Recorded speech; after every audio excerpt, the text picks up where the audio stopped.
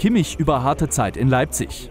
Josua Kimmich berichtet auf der Internetplattform The Players Tribune von einer der härtesten Zeiten seines Lebens in Leipzig. Er habe schon eine Leistenverletzung gehabt, als er zur RB kam und wusste nicht, wie lange die Reha dauern würde, schreibt Kimmich. Der Jungstar habe die Stadt nicht gekannt und konnte seine Teamkollegen wegen der Reha nicht kennenlernen. Er habe sich so allein gefühlt, klagt Kimmich. Das Wichtigste für einen Fußballer sei ein Manager und ein Trainer, der an einen glaube und einem vertraue, so Kimmich. Diesen habe er vor allem in Ralf Rangnick gehabt. Müller vergleicht Trainer. Thomas Müller hat seinen Ex-Coach Pep Guardiola mit seinem neuen Trainer Carlo Ancelotti verglichen. Der Italiener habe etwas mehr Nähe zu den Spielern, er habe eine gute Art, mit ihnen umzugehen. Im Vergleich zu Guardiola sei er etwas menschlicher, sagte Müller der Bild.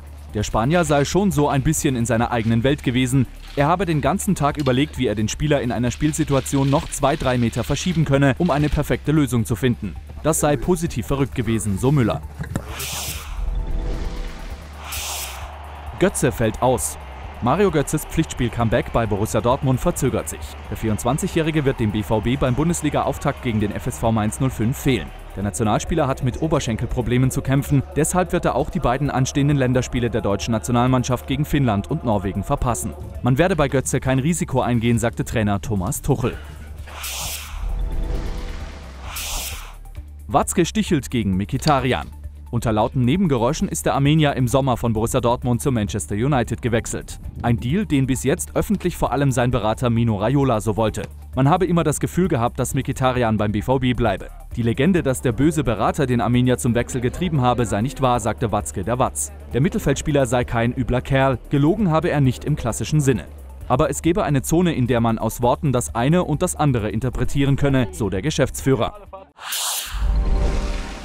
Die Europa League stand heute im Zentrum des Grimaldi Forums in Monaco. Gestern Champions League, heute Europa League. Und es ging natürlich wieder um die Auslosung. Und die Vereinsvertreter standen schon wieder Schlange bei den Pressevertretern, um zu kommentieren, was sie denn zu ihren Losen sagen. Die Deutschen, diesmal mit zwei Vereinen dabei, Schalke 04 und Mainz 05. Zwei Gruppen, die, ich sag's mal, möglich sind. Die Schalker mit Krasnodar, mit Salzburg und mit Nizza.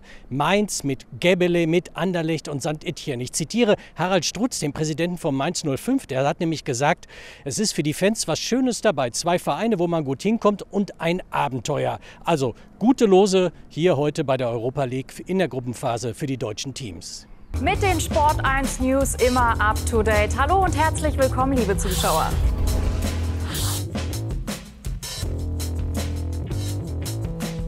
Immer noch Reus über den halben Platz, vorbei an Bonucci und rein ins Tor.